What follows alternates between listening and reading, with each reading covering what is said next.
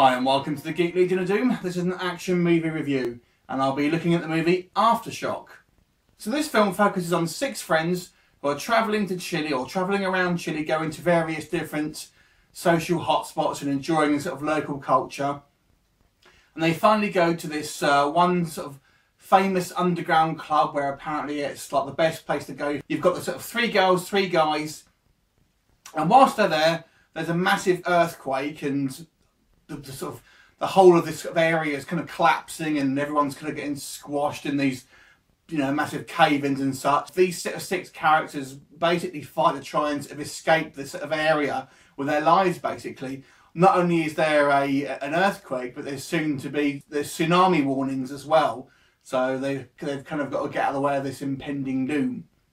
Now i do want to talk about some spoilers in this review because i don't there's, a, there's some issues with it i have and I have to talk about the spoilers to to sort of really discuss it. So if you've not seen it, I suggest you look away now. So anyway, so this is this this film stars Eli Roth. That's, really the only sort of name you're going to recognise here. I don't think he's a very good actor. Let's just say it. He isn't a very good actor. Um, he's not a bad filmmaker, but acting isn't his forte. I would suggest maybe you just stay behind the camera for the most part he's okay. These kind of small cameos that you see in like Tarantino's films and stuff like that. But as a kind of a, of a main character, no, I don't think so.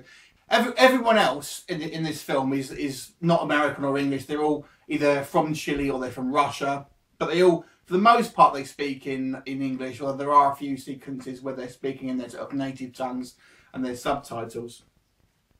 So what's it like as a disaster film? I suppose one criticism you'll have here is that nothing really happens in this film until about 30 minutes in. And you could sort of say it's, it's kind of character building, but it tends to, it does tend to drag a little bit. And it's just, it's just 30 minutes of these people hanging out. So it, it's not really much character building, to be honest with you, but you're not really told a lot about their past. You're told a couple of them have got kind of got kids, but that's pretty much all you really know. It's obviously quite a low budget film, so some of the effects are going to be a little bit on the sort of cheap side. I mean, kind of does sort of show through. Um, I think they do a reasonable job for the money they they have. To be fair, but it isn't. A, it isn't. It's not a large scale destruction here, and a lot of it I think does look like it's done on a set on a sound stage.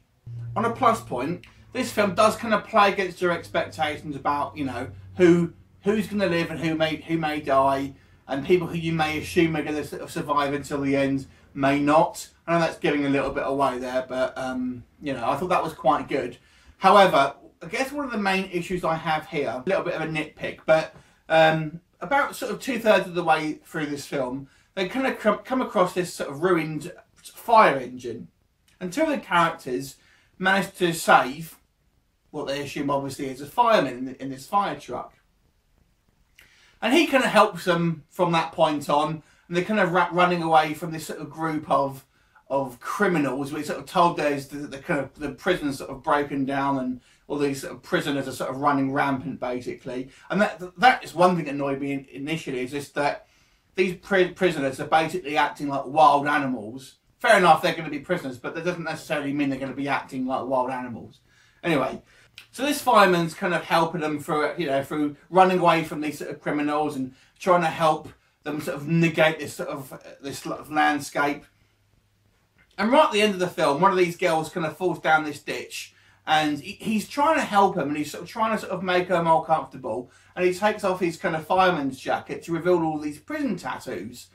And then she kind of clicks that he's actually a prisoner as well. He just inexplicably decides to kill her, and then and then attempt to kill the remaining survivors. But that that just didn't sit right for me as well. I didn't understand the why would the guy's motivations just suddenly change like that? They're all kind of helping each other. If he was some kind of psychopath, he would have probably been attacking them from the get go. Why, why sort of go along with them and try and help them for that sort of amount of time, only to discover that that once once he's found out he's he was a, he's a prisoner, that they're also automatically going to you know I don't know turn against him. That really didn't sit well for me to be honest with you. He just seems I didn't buy his motivations for suddenly sort of turning into this killer. Um, I thought it would, would have been better if they maybe found out he was a prisoner, but he actually is still going to try and help them, and he's still, you know, he may be a good guy, despite the fact that he's obviously a prisoner. But it turns out, no, as soon as she find, they find out he's a prisoner, he just turns into kind of bad guy mode and decides to start killing everyone. And it, it just was, I think it was such a stupid turn of events. It just didn't make sense to me. Um, so it's basically sort of saying that anyone who is in a prisoner is going to be a killer and no one can have this sort of this change. No one can kind of have this sort of opportunity to sort of, even though they're in prison, they, they're, they're going to be a bad person. That's ultimately what it's saying. I don't, yeah, I kind of, I, understand what I'm saying here, but there are, there are cases obviously where prisoners are going to be come out of prison and they're going to be rehabilitated.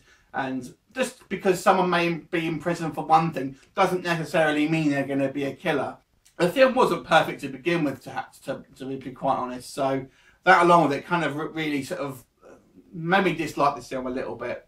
So I'm, I'm, going to give this film a five out of ten. It's okay for a forgettable disaster film, but nothing nothing you're going to want to watch again or remember it in kind of a day or two. So five out of ten for me. What did you think about that sort of prisoner issue? If you have seen it, leave me a comment. I'd be interested to hear your thoughts. See you next time.